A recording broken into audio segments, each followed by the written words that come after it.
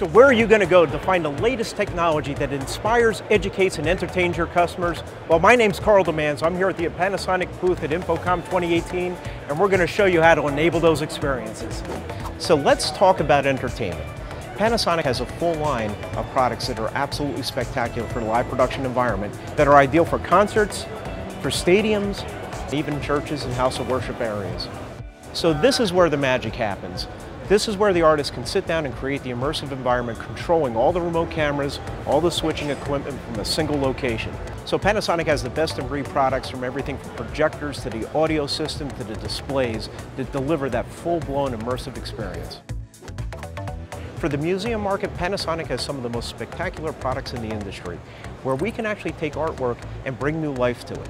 Imagine taking a 4K display with high color depth saturation, layering on top of it a projection technology with an ultra short throw lens to bring new life to that art. In fact, we have technologies that allow even the younger generation to come in and become part of the art themselves.